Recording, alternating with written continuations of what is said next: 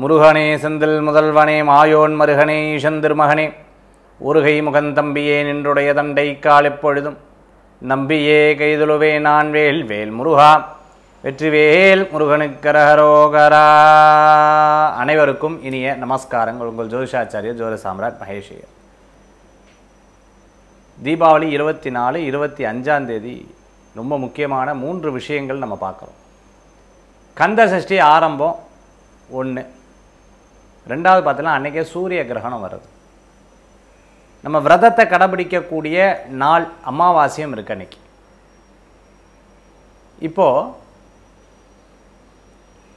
இந்த இருபத்தி ஐந்தாம் தேதி சூரிய கிரகணம் இருக்கும்போது சாயந்தர நேரத்தில் அஞ்சிலிருந்து அஞ்சு நாற்பத்தஞ்சு வரைக்கும் நம்ம இந்த கிரகணத்தை மூணாக பிரிக்கிறோம்.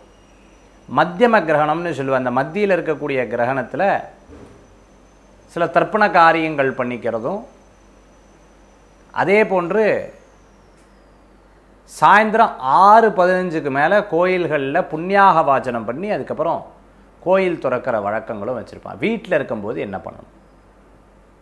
இது வீட்டில் வந்து பார்த்துட்டுனா தர்பை இந்த தர்பையை எல்லா இடங்கள்லையும் குறிப்பாக தண்ணி இருக்கிற இடங்களில் போட்டு வைக்கிறது நல்லது. அந்த காலகட்டத்தில் நம்ம சாப்பிடாமல் இருக்கிறது வெளியில் போய் பார்க்காம இருக்கிறது சிறப்பு.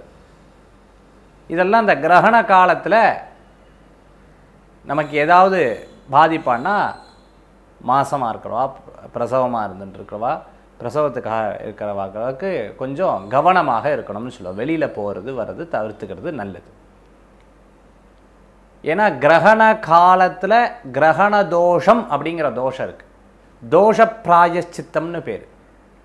முடிஞ்ச வரைக்கும் அடுத்த நாளில் சூரிய பகவானுக்கு அர்ச்சனை பண்ணிக்கிறது. இது எந்தெந்த ராசிகள்? சிம்ம ராசி உத்திரம் உத்திராட நட்சத்திரம் கிருத்திகை நட்சத்திரம். இந்த மூன்று நட்சத்திரத்துக்காராக போய் அர்ச்சனை பண்ணிக்கிறது நல்ல பலன்களை கொடுக்கக்கூடியதாக இருக்கும்.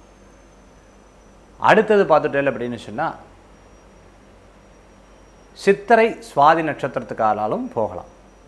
போய் அர்ச்சனை பண்ணிக்கிறது ரொம்ப விசேஷகரமான பலன்களை கொடுக்கக்கூடியதாக இருக்கும் தோஷ நிவர்த்தின்னு பேர். அப்படி தோஷ நிவர்த்தி சூரிய தோஷ நிவர்த்தின்னு பேர். அப்படி தோஷ நிவர்த்தி பண்ணிவிட்டாலே பாதகங்கள் போயிடும்.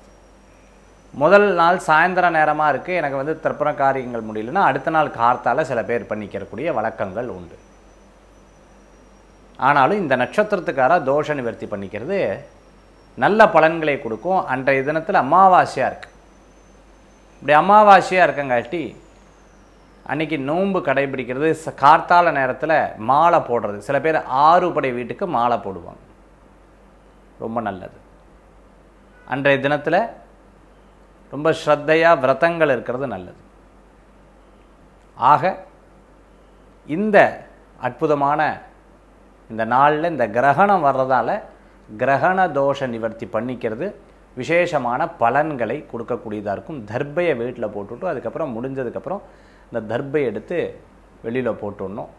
புண்ணியாக வாஜனம் பண்ணோம் புண்ணிய தீர்த்த ஆவாஜனம்னு சொல்லுவா. இல்லை பக்கத்தில் கோயிலில் அபிஷேகம் பண்ண தீர்த்தத்தை கொண்டு வந்து வீடு முழுக்க தெளித்து விடுறது உன்னதமான பலன்களை கொடுக்கக்கூடியதாக இருக்கும். வெளிநாட்டில் இருக்கேன் வெளியூரில் இருக்கேன் எங்கள் பக்கத்தில் கோயில் இல்லை அப்படின்னு சொல்லும்போது ரெண்டு விபூதியை மனசார ஜபிச்சு தண்ணியில் போட்டு ரெண்டு மல்லி புஷ்பமும் முடிஞ்சால் ஓம் சுதர்ஷனாய நமகங்கிற மந்திரத்தை சொல்லி ஃபுல்லாக தெளிச்சு விடுறது உன்னதமான பலன்களை கொடுக்கும். மீண்டும் சந்திப்போம். வேல் வேல் வேல் முருகா வெற்றிவேல் முருகனுக்கு கரகரோகரன் நன்றி நமஸ்காரங்கள்.